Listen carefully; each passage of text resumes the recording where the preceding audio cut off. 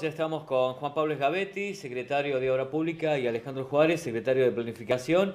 Eh, bueno, por un lado, eh, la idea de ustedes poder venir a hacer algunas aclaraciones por lo dicho del concejal Fernández, eh, digo, en algunos temas que, bueno, fueron varios lo que tocó, ¿sí? Sí, ante todo, buenas noches a vos y a toda la audiencia y, bueno, agradecer la oportunidad de poder dar nuestro punto de vista sobre algunas opiniones vertidas en un programa en donde estuvo presente el concejal Fernández, ¿no? Este, creemos que en muchos de los casos ha faltado a la verdad, que no sabemos cuál es el sentido, porque eh, han sido hechos que están totalmente documentados y él los ha tomado con una óptica esquiva a la realidad. Eh, desde el municipio queríamos aclarar estos temas. Yo puntualmente quería demitificar un mito que él mantiene de que en oportunidad de que quien habla y, otros funcionarios que hoy estamos en el Ejecutivo éramos ediles, este, impedimos que Vicuña Maquena tenga acceso a un, a subsidio de parte de provincia y nación en ese momento. En el mes de junio del año 2007, después de hacer las averiguaciones correspondientes sin haber tenido el monto, nunca supimos el monto ni conocimos el proyecto porque no hoy, después de haber estado en el gobierno nosotros todos estos años, no hemos podido saber dónde iba a ir, por ejemplo, la planta de tratamiento de desechos cloacales, por lo tanto el proyecto carecía de eso. Pero no obstante ello, nosotros, vía la ordenanza 816 del año 2007, autorizamos al Departamento Ejecutivo Municipal a que gestione el otorgamiento del subsidio y que comenzase a trabajar en eso. Hecho que cuando el intendente Laborde asume, nosotros viajamos a Córdoba, por aquel momento la Dirección Provincial de Agua y Saneamiento, la DIPAS, hoy subsecretaria de Recursos Hídricos, en donde encontramos el expediente que la, última foja que tenía era una carta de documento que se le había cursado al municipio de Vicuña Maquena, intimándolo a que complete el expediente, hecho que no se había cumplido. Yo creo que con esto lo tenemos por dado, lo entendemos terminado, algo que le habla, ya habla de que Máquina se perdió. Bueno, nosotros lo autorizamos al Ejecutivo, nunca supimos el proyecto, nunca supimos el monto, por lo tanto la ordenanza es lo mismo, nosotros la sancionamos, o sea que eso queremos dejarlo muy claro, en la pantalla se está viendo una copia de lo que estoy diciendo, de la ordenanza 816-2007, está publicada, está en los boletines, por lo tanto lo que dice Fernández es una gran falacia y creo que en el fondo se termina creyendo su propia mentira, si no, no le puede repetir como, como lo ha dicho en el Consejo Liberante, en los medios en tantos lugares donde lo ha dicho. Eh, es un tema que quería aclarar simplemente porque me parece que no se puede bastardear con ese tema ya hasta el cansancio y seguir con los otros temas, eh, también mintiendo como lo hizo descaradamente en la presentación anterior que tuvo la oportunidad de estar acá. Nosotros hemos estado trabajando en un proyecto con la provincia para hacer una serie de obras en la planta de tratamiento y el título que le dio la provincia a la licitación es readecuación de la, de la planta de tratamiento de Vicuña Máquina. Él dijo acá eh, de que la planta no funcionaba, que nunca funcionó, que por eso se, ahora se debería estar invirtiendo en nuevos fondos, cosas que desconoce la realidad o lo hacen malintencionadamente el proyecto con el que la provincia llama licitación, que fue adjudicada a la firma Marinelli en una licitación pública, eh, fue ejecutada acá en Vicuña Maquena por quien es el proyectista, el ingeniero Javier Boletti, que creo que es una persona que merece el mayor de los respetos eh, técnicamente porque es quien ha hecho el proyecto de agua y también el de cloaca. Yo y hasta la fecha no tenemos un solo problema en ninguno de los dos sistemas. ¿Qué se va a hacer en la planta de tratamiento? Se va a terminar dos lagunas que estaban pendientes de terminación, se van a revestir, se va a incorporar dos nuevas lagunas que esas sí no estaban en el proyecto. Eso es la posibilidad de acabar con un viejo problema de muchos años, que es el vertido de los líquidos de los camiones atmosféricos en la vera de la ex Ruta 7. Eso ahora lo vamos a descargar vía un sistema de lagunas en la, en la planta para que se trate y no contaminar más el medio ambiente y no tener ningún tipo de problema. También se prevé la construcción, que en el proyecto original venía de un conducto de 2.000 metros, para volcar los excedentes al arroyo Lají. Y en esto el proyecto que Volate había elaborado este, y analizado, eh, el agua que sale de la última laguna no necesitaba cloración. Pero no obstante ello, la provincia en este proyecto nos solicitó que preveyéramos la posibilidad de incorporar una laguna de cloración que se llama que una laguna especial donde el agua permanece un tiempo es como si fuera una espiral donde el agua va circulando y tiene un tiempo de hacer ese circuito donde se le aplica cloro y allí va a ir al arroyo Laji sin ningún tipo de contaminación. Eso es lo que básicamente se va a hacer en lo que se llamó readecuación de la planta, incluye el perímetro de un cerco del tipo olímpico para evitar problemas de seguridad y también se termina la estación de bombeo número 1 que es la que va en la esquina de la calle Mistral y Sendoya. De esa manera nos va a permitir utilizar toda la red que ha hecho por administración el municipio, desde la calle Manselle hasta la calle Sendoya. Eh, esto queríamos aclararlo de que el municipio ha tomado esta decisión de solicitar este tipo de apoyo financiero, tanto a provincia como a nación, que después Juan Pablo va a explicar lo de Hábitat, teniendo en cuenta que nosotros el proyecto lo presentamos en el año 2009 con un costo de 15 millones de pesos la obra total para Vicuña Máquina Cloacas. Se dictó la ordenanza de contribución por mejora en el año 2012 y ya la obra en ese momento ascendía a 28 millones de pesos. En la actualidad la obra está evaluada en 130 millones de pesos. Tenemos que tener en cuenta que hay un montón de gente que solidariamente apoyó y nos, nos permitió que con los 500 conectados que hoy tenemos, el sistema pueda estar funcionando porque la obra de infraestructura se hizo, las lagunas, la planta de tratamiento, las estaciones de bombeo, todo eso se, se, pudo realizar dado a que hubo muchos vecinos que solidariamente hicieron un aporte y pagaron su conexión. También queremos decir que esos 28 millones de origen que tenía el municipio, el municipio hoy tiene una deuda de los frentistas de 15 millones de pesos. O sea, hay frentistas que no le han aportado al municipio por un monto de 15 millones de pesos. El municipio, a la fecha del año 2012, la fecha ha actualizado el 65% el monto de la obra.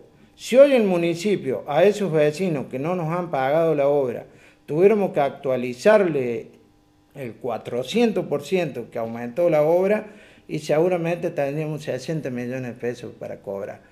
Lo que busca el municipio a través de estas gestiones con provincia y nación es tratar de buscar que al vecino le siga saliendo lo mismo la obra y poder culminar la obra en un corto plazo que nosotros estimamos que antes que finalice el mandato de la aborde va a estar ejecutado el 100% de la obra.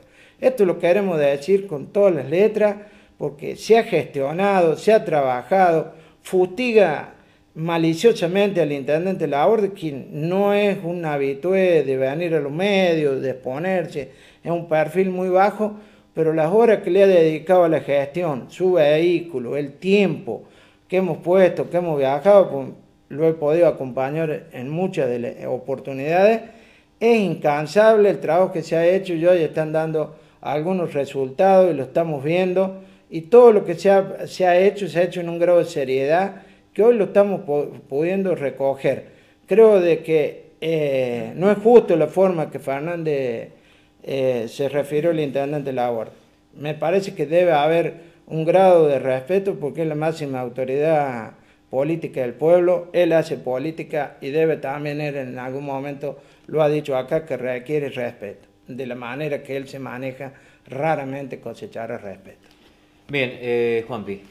Bueno, particularmente lo que quería sumarle a lo que Alejandro hablaba respecto a la actualización de las cuotas de lo que hoy tiene que costar la cuota mensual que se va pagando mes a mes para la cloaca, obviamente que este gobierno ha tomado la postura, digamos, de, bueno, de trasladar, no trasladarle esa actualización completa al vecino, que el vecino siga pagando una cuota baja y por medio de las gestiones que se han realizado se han obtenido subsidios importantes a nivel nacional como provincial, como en este caso, y como en el de hábitat eh, a nivel nacional, que todo es, este aumento del 400% no lo va a terminar pagando el vecino, se lo va a terminar aportando el municipio a través de esas gestiones, por lo cual los vecinos van a seguir pagando un costo mucho más bajo que el real que es la que lo debería ser la cuota. Entonces, en definitiva, todo esto no es como planteaba por ahí el consejero Fernández, que hay que doblar la plata a los vecinos, sino que el, municipio, eh, en esta problemática de los aumentos que hemos tenido durante todos estos años, eh, no trasladarle ese aumento al vecino, sino que dejarlo cubierto con los subsidios que se han ido consiguiendo, en definitiva. Que eso es lo importante de no, eh, no seguir cargándole de, cuotas caras a los vecinos. Sobre todo por esta obra de cloaca, más que ahora se van a venir nuevas obras como las de hábitat, y en un futuro cercano, el año que viene, vamos a entrar a pensar ya en alguna obra de infraestructura de gas, como para el 2019, 18 y 19 podemos estar con este tipo de obras por los cuales a, los vecinos se les va a hacer cuota de la cloaca, cuota del gas, cuota lo mejor de infraestructuras de pavimento, por lo cual tenemos que tratar de que el vecino pueda afrontar estos gastos. Así que bueno, es simplemente para redondear eso con respecto a la cloaca. Eh, justamente el proyecto de hábitat que también se tocó cuando estuvo el, el concejal, eh, realmente eso se viene gestionando desde el año pasado, ya llevamos más de un año de gestión sobre este proyecto. No son muchos los municipios que han podido finalizar y llevar a cabo este proyecto, no es menor. Eh, la verdad que realmente da risa muchas veces los dichos que por ahí dice el doctor respecto a que el municipio va a tener que dejar, entiéndase, en coimas a la nación de 30 millones que eso no sé realmente dónde lo saca, cómo inventa y tira cosas a, la sociedad. Realmente eh, es increíble las cosas que se le ocurren eh, y que tira públicamente. El proyecto para comunicarle a la gente se hizo 100% en Micuña Maquena, desde el área eh, técnica de la municipalidad, que es obra pública y obra privada. Contamos, en la actualidad contamos con tres profesionales dentro del municipio que estuvimos trabajando en este proyecto y a la vez con la colaboración toda la parte del proyecto de cloaca, que es el mismo proyecto de la cloaca mismo, sino, sino que es está recortado para el sector del barrio sur y el sector del barrio San Vicente. Así que todas esas cosas que, bueno, que Daniel había andado pregonando, que este, este proyecto lo habíamos hecho hacer en Buenos Aires, por lo cual teníamos que dejar un retorno y demás, son todos inventos del doctor, quien carecen de toda la seriedad.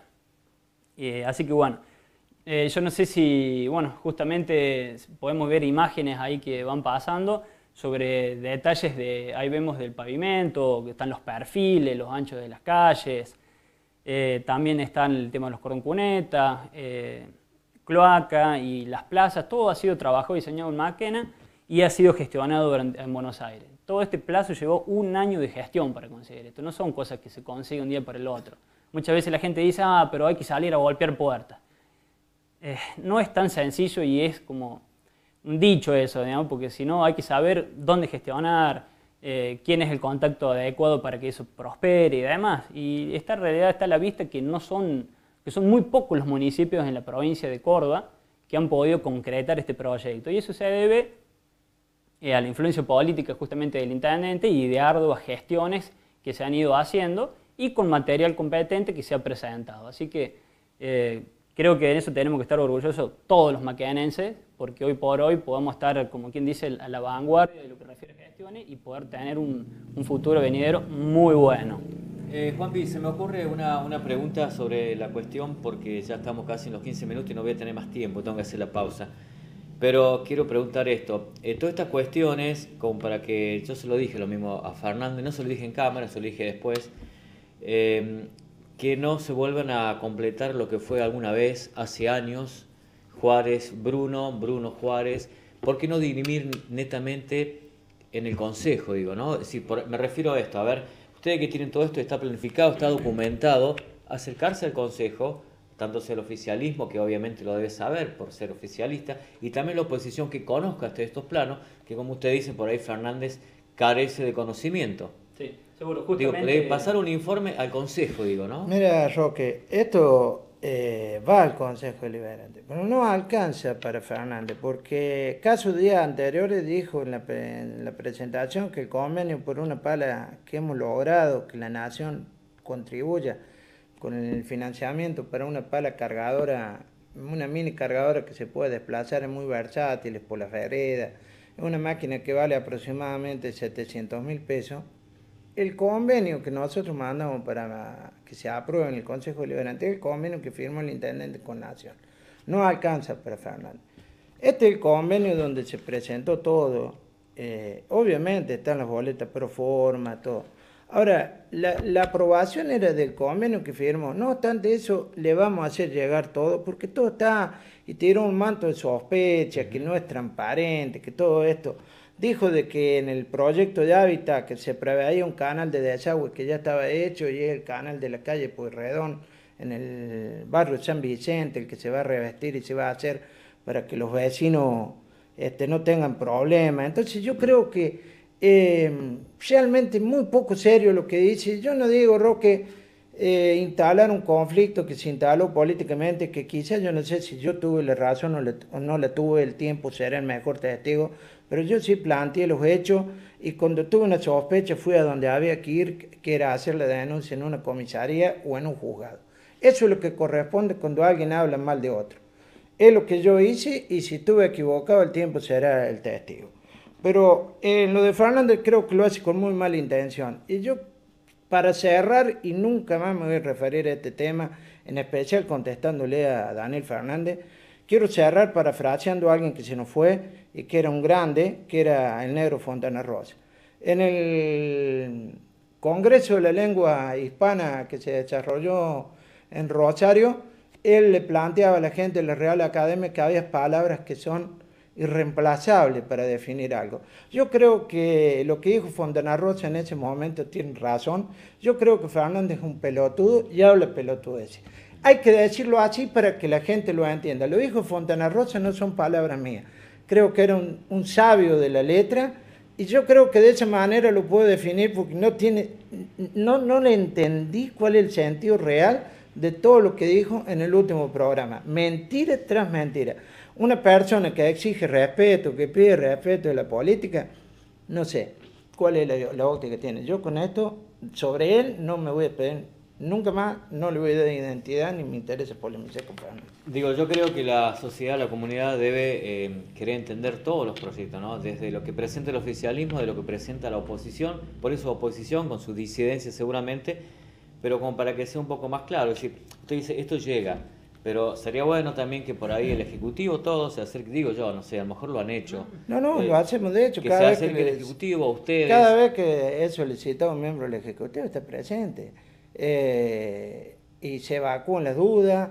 Ahí le hemos entregado el proyecto de hábitat completo, que es un proyecto voluminoso eh, a los concejales para que, para que no tenemos nada que esconder, al contrario, se está trabajando, hemos cerrado con un proyecto cámara de seguridad, estamos consiguiendo apoyo tanto de la provincia como de la nación por el buen diálogo, la buen, buena forma que ha tenido esta gestión de articular con nación y provincia.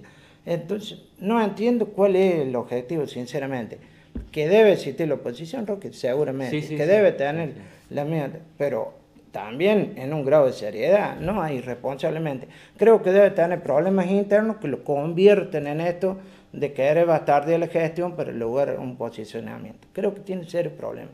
Pero bueno, esos no son mis análisis. El proyecto de hábito, justamente como plantea Roque, en el día de mañana los consejeros del oficialismo lo van a presentar con, con presupuestos, eh, planes de avance de obra, y todo lo que ha requerido se requiere en su momento, no solo por, por, por el Edil Fernández, sino también por el resto de la oposición para que tomen conocimiento sobre lo que se está probando, digamos.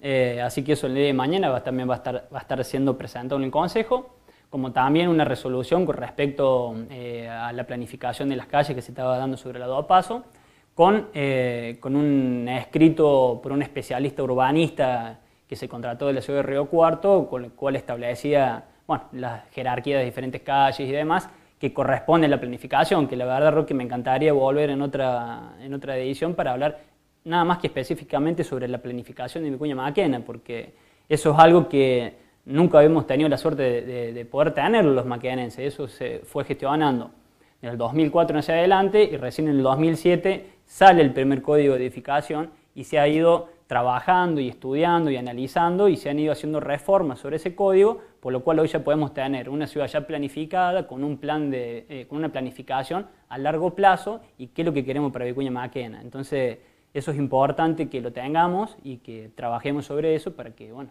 tengamos una ciudad maravillosa de acá al futuro. Eh, permítame eh, decirle por último de que no sé si ustedes entienden lo que yo quiero plantear, ¿no? Es decir, porque si no por ahí se puede llegar a prestar el juego de que una vez más eh, uno se presta, yo me presto en este caso para que uno mal informe y el otro viene y aclara. no, no, no, lo hemos hablado muchas veces no, internamente Roque, contigo. tranquilo, nosotros lo Creo que le debe poder informar bien, ¿no? Por eso digo, si él tiene dudas y o usted plantea que no tiene conocimiento de esto, bueno, ¿por qué no acercarse al consejo? Y poder llegar todo, todo esto que está documentado, planificado, se le encontrará eh, algún detalle, se arreglará o no, pero en definitiva digo para que no se malentienda de que uno se presta nuevamente al juego, de que viene uno habla, el otro aclara, el otro aclara, el otro habla y por ahí lo que hace pues, es mal confundir a la gente. Y yo insisto nuevamente y lo hago público, eh, no quiero prestarme a este juego nunca más porque de todo esto el que perdió fui yo y todo el mundo lo sabe, por lo menos el 80% de la gente sabe más allá de ser periodista del pueblo, comunicador social, llámenle como quiera. Yo creo que es importante que todo se aclare y todos peleamos y luchamos por el bien de Vicuña Maquena. Mira, lo positivo sería que viniésemos y pudiéramos con tranquilidad y con tiempo poder explicar todo lo que se está haciendo en el municipio, que en definitiva, eh, si desde la política eh, no trabajamos para mejorar las cosas de la gente, nos sentiremos que no estamos cumpliendo con lo que teníamos el mandato eh, hechos recientes, vos lo ves, que, el municipio se trabaje, articula con Nación, se firmó Sala Cuna, ya está en Maquena instalado el programa, firmamos Vida Digna, se entregan los primeros créditos Vida Digna, firmamos el convenio de las tarjetas sociales, ya se están entregando las tarjetas sociales. Estamos continuamente bajando todos los programas que le ayuden a la gente. Yo creo que esa es la forma, la mejor forma más de que hablar es hacer y bueno, desde el municipio el intendente nos ha pedido, nos ha, nos ha llevado por ese camino de que se trabaje, se le solucione el problema a la gente, que se trate de cambiar Vicuña Máquina, y en ese camino estamos trabajando. Entonces nos duele mucho cuando con total liviandad se opina de esta manera. En lo futuro y en los espacios que uno pueda brindar, la idea va a ser venir y poder contarle a Vicuña Máquina qué se hace desde el municipio, que mucho. No lo podemos decir y te robo un minuto. Se acaba de comprar un camión cero kilómetros para reemplazar el camión, el viejo camión FIA que está en los residuos. Se, se, logró un financiamiento para comprar una pala frontal nueva. Se compró una topadora para que trabaje en el basural y tener dentro de lo que es la precariedad de un basurero a cielo abierto la mejor condición de higiene, de poder eh, mitigar la contaminación del medio ambiente. Y todas esas cosas caen en un saco roto porque no se hablan. Eh, un proyecto de 130 millones, un proyecto de 26 millones con Nación. Se está trabajando continuamente para decir que eso no existe cuando yo creo que son hechos inéditos e históricos que en Vicuña Maquena haya tenido la posibilidad de acceder a un subsidio de 131 millones de pesos. Es un ejercicio de la municipalidad, un presupuesto del municipio en un proyecto. Yo creo que eso habla muy bien del municipio, se deben sentir bien los maquenenses, saber que somos uno de los pocos municipios de la provincia que hemos gestionado y hemos logrado esto. Estamos muy pronto a comenzar la obra y la gente va a ver los resultados, la transformación que va a haber en dos barrios muy, muy caros a los sentimientos máquinas, como el barrio San Vicente y el barrio Sur Roque. Muy bien, gracias. Los espacios siempre están abiertos. Gracias. ¿Eh? No, le agradecido somos nosotros. Muy bien, hacemos la pausita y después nos vamos, Gabriel, porque no tenemos más tiempo. Eh, hacemos la pausa que corresponde y después nos vamos con el tiempo y otra pausa más.